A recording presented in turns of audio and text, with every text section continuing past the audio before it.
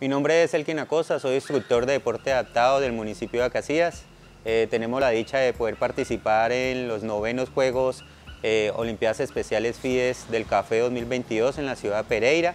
Vamos a llevar una delegación de 11 participantes, los cuales van a participar en las disciplinas de atletismo y natación. Estamos muy felices como Escuela Deportiva del municipio en participar en este evento, ya que desde el año 2010 no participábamos.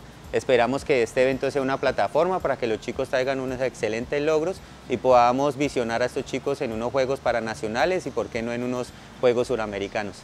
Esperamos todo el apoyo de ustedes y muchas gracias a la administración por apoyar esta Escuela Deportiva de Deporte Adaptado y poder eh, apostarle a los chicos en condición de discapacidad como una inclusión deportiva.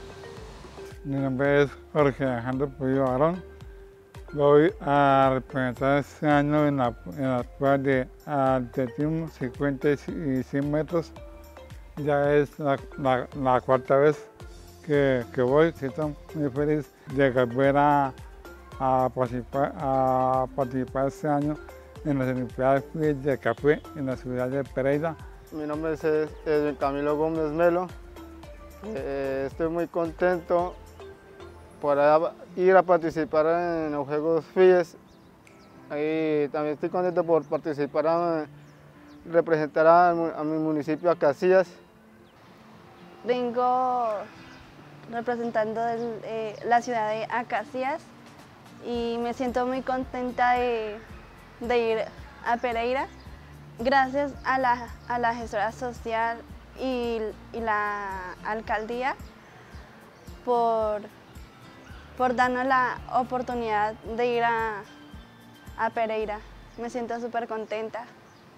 Mi nombre es Wilder Alejandro Salinas. Me siento contento porque voy por primera vez en avión y me siento muy feliz de estar con el profe y los compañeros. Muy buenas tardes, mi nombre es Arley Andrade Olaya, hago parte de la Secretaría Social de Educación, Cultura y Deporte y contentos en esta invitación que nos hace la ciudad de Pereira al encuentro FIDES, especialmente en la modalidad de natación con el deportista David Ñustes, eh, gracias al proceso que ha hecho también de formación el profesor Jimmy Castillo con su escuela de formación que hace parte del Camino de Oportunidad.